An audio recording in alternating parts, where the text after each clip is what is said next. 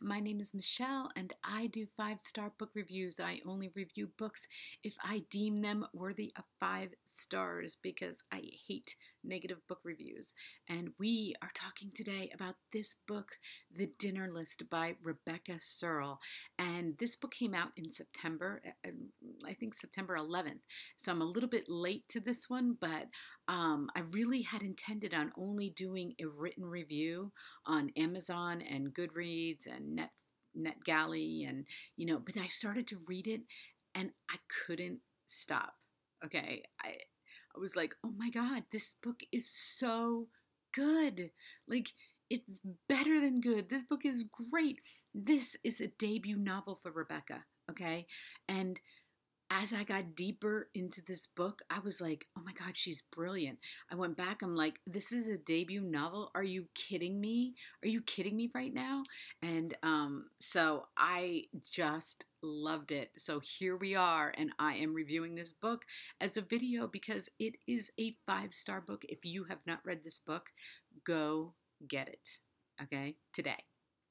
Just get it on Amazon just download it. I don't care. Go to Barnes and Noble, whatever. Get this book. It is that good. Um, okay, so what do I what can I tell you about it? Main character, Sabrina. Okay, this is called the dinner list.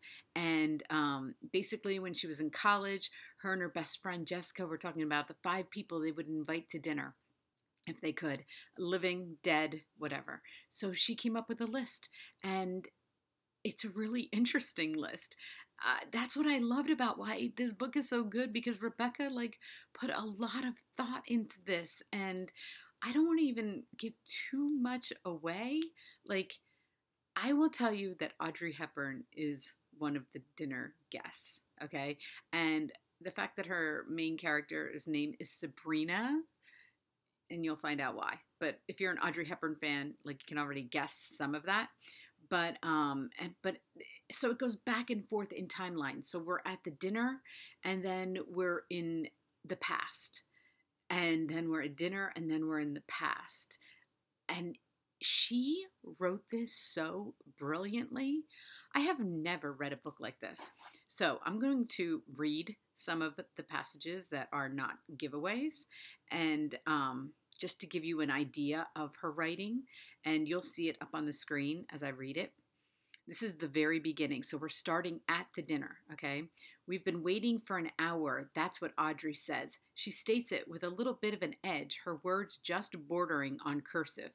That's the thing I think first. Not Audrey Hepburn is at my birthday dinner, but Audrey Hepburn is annoyed. That's how she starts a book, and I was cracking up. First of all, I love Audrey Hepburn, so you don't have to like convince me that that was a perfect dinner guest, okay? Now, up on the screen, okay, the end of the first chapter, which is my favorite part of a book because this defines for me whether I am setting it down or I'm going to continue to read it, okay? I look for this ending, okay?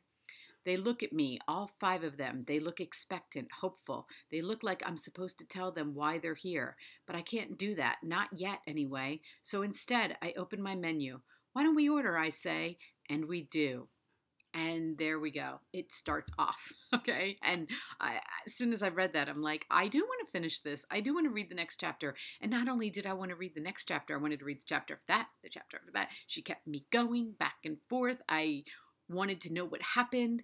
Tobias is her boyfriend. I wanted to know what happened. Such a romantic book. I cried at the end. Uh, that's all I'm gonna say. I cried, and if you doesn't even matter. You can go to the end and read it. You won't even get it. So you got to read the whole thing. But I was sitting somewhere I wasn't at home. I finished. I was like, I couldn't. I only had a couple more pages to go, so I was like, fine, whatever. And I'm in a room full of people, and I finish it, and tears were in my eyes, and I was looking around. I'm like, I hope nobody sees me because they're gonna think something happened. And really, I'm just crying because I'm at the end of this book, and oh my God, Rebecca, you did an amazing job. Okay? So, everybody, go get this debut novel for Rebecca. Uh, standing ovation. I am so happy for you. I cannot wait to see what you have next. Amazon link is listed below. Please hit like if you like this review. Please comment if you want me to read any books. I read lots of books. And um, please subscribe. I do videos every single day. Have a great day, everyone.